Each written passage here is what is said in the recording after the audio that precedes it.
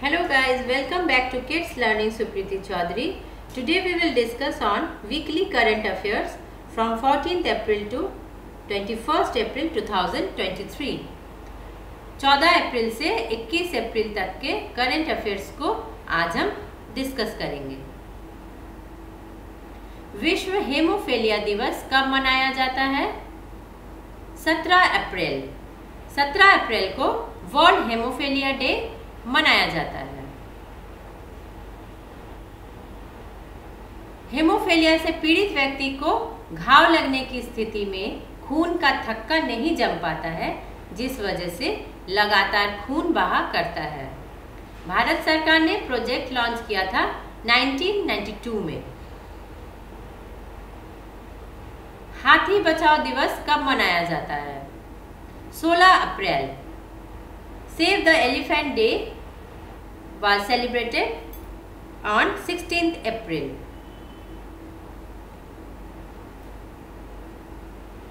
उद्देश्य क्या है हाथियों द्वारा सामना किए जाने मुद्रों के बारे में जागरूकता को बढ़ावा देना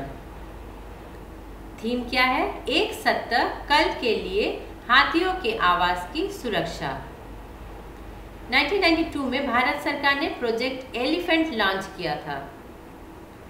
भारत में हाथियों की संख्या लगभग तेईस हजार तीन सौ बारह दो हजार सत्रह की जनगणना में की गई है कर्नाटक में हाथियों की संख्या सबसे अधिक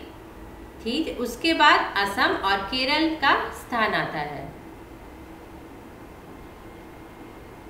विश्व लीवर दिवस कब मनाया जाता है 19 अप्रैल को विश्व लीवर दिवस मनाया जाता है विश्व लीवर दिवस प्रत्येक वर्ष 19 अप्रैल को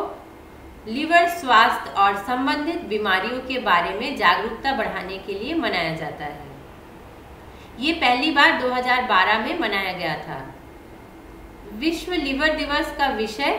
सतर्क रहे नियमित लीवर चेकअप करें फैटी लीवर किसी को भी प्रभावित कर सकता है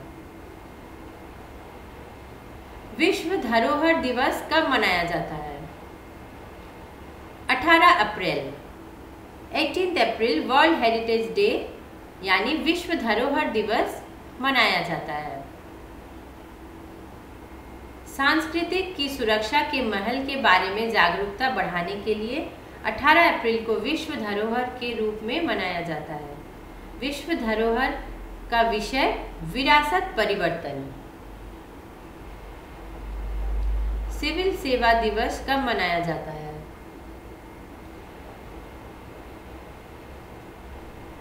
इक्कीस अप्रैल को सिविल सेवा दिवस मनाया जाता है नेशनल सिविल सर्विस डे 21 अप्रैल को मनाया जाता है सिविल सेवा से जुड़े अधिकारियों की सराहना करने के लिए ये दिवस हर साल इक्कीस अप्रैल को मनाया जाता है थीम विकसित भारत का उद्देश्य नागरिकों को सशक्त बनाना और अंतिम मिल तक पहुंचना किस शहर में पूर्वोत्तर का पहला एम स्थापित किया गया है गुवाहाटी गुवाहाटी में पीएम मोदी ने 14 अप्रैल 2023 में एम्स का उद्घाटन किया ये भारत के पूर्वोत्तर में पहला एम्स है गुवाहाटी में एम्स की आधारशिला पीएम मोदी ने मई 2017 में की है महाराष्ट्र भूषण पुरस्कार 2022 किसे प्रदान किया गया है डॉक्टर अप्पा साहेब धर्माधिकारी जी को केंद्रीय गृह मंत्री अमित शाह ने रायगढ़ में डॉक्टर अप्पा साहेब धर्माधिकारी को वर्ष 2022 के लिए महाराष्ट्र भूषण पुरस्कार प्रदान किया इन्होंने एक प्रसिद्ध समाज सुधारक है हाल में युवा पोर्टल किसने लॉन्च किया है डॉक्टर जितेंद्र सिंह जी ने हाल ही में युवा पोर्टल लॉन्च किया है केंद्रीय विज्ञान और प्रौद्योगिक मंत्री डॉक्टर जितेंद्र सिंह जी को नई दिल्ली में युवा पोर्टल का शुभारंभ किया उद्देश्य संभावित युवा स्टार्टअप को जोड़ना और उनकी पहचान करना प्रवासी भारतीय सम्मान पुरस्कार किसे मिला है राज सुब्रमण्यम राज सुब्रमण्यम जी को प्रवासी भारतीय सम्मान पुरस्कार से सम्मानित किया गया है फेडेक्स के सीईओ e राज सुब्रमण्यम को प्रवासी भारतीय सम्मान पुरस्कार मिला है भारतीय मूल के व्यक्तियों के लिए भारत का सर्वोच्च नागरिक सम्मान है पुरस्कार का उद्देश्य अंतर्राष्ट्रीय समुदाय में भारत की छवि को बढ़ाने में भारतीय डायस्पोरा द्वारा किए गए योगदान को पहचानना और सम्मान देना किस राज्य में बी आर अम्बेडकर की 125 फुट ऊंची प्रतिमा का अनावरण किया गया है तेलंगाना तेलंगाना के मुख्यमंत्री के चंद्रशेखर राव ने हाल ही में हैदराबाद में बी आर अम्बेडकर की 125 फुट ऊंची प्रतिमा का अनावरण किया प्रतिमा का अनावरण अम्बेडकर की 130वीं जयंती के उपलक्ष्य में किया गया था ये प्रतिमा हुसैन सागर झील के किनारे पर सचिवालय के निकट स्थित है हाल ही में साथी पोर्टल और मोबाइल ऐप को किसने लॉन्च किया नरेंद्र सिंह तोमर इन्होंने हाल ही में साथी पोर्टल और मोबाइल ऐप को लॉन्च किया कृषि और किसान कल्याण मंत्री नरेंद्र सिंह तोमर ने बीज उत्पादन गुणवत्ता बीज पहचान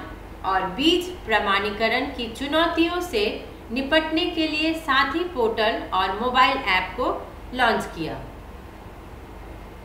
लता दीनानाथ मंगेशकर पुरस्कार से किसे सम्मानित किया गया आशा भोसले ये पुरस्कार लता मंगेशकर की याद में मंगेशकर परिवार और ट्रस्ट द्वारा स्थापित किया गया था पहला लता दीनानाथ मंगेशकर पुरस्कार नरेंद्र मोदी जी को मिला था दुनिया का सबसे अधिक आबादी देश कौन बन गया है भारत भारत दुनिया का सबसे अधिक आबादी वाला देश बन गया है संयुक्त राष्ट्र जनसंख्या कोष की रिपोर्ट अनुसार भारत दुनिया का सबसे अधिक आबादी वाला देश है किस देश ने फेंगुइन तीन उपग्रह लॉन्च किया है चीन चीन ने चांग होंग चारवी राकेट का उपयोग करके फेंगुइन तीन मौसम संबंधी उपग्रह को सफलतापूर्वक लॉन्च किया है उद्देश्य गंभीर मौसम की स्थिति विशेष रूप से भारी वर्षा जो बाढ़ और भूस्खलन जैसी प्राकृतिक उपदाओं की निगरानी और जानकारी प्रदान करना है फेमिना मिस इंडिया 2023 कौन बनी है Nandini Gupta. Thank you for watching. Please like my channel. Tata, bye bye.